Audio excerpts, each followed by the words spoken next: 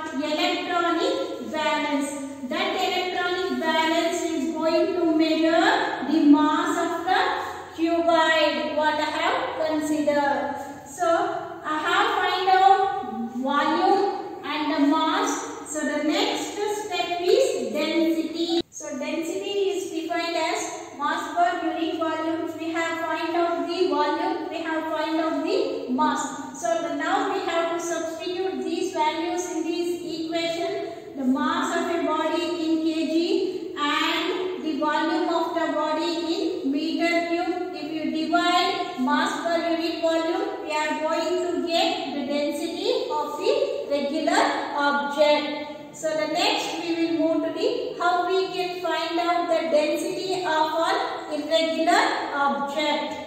Till now we have discussed about area, its unit. If it is a regular object, how we can find out its area. If it is irregular object, how we can find out its area, density concept and its unit. So these are all the things we discussed. In the next class, we will learn the another concept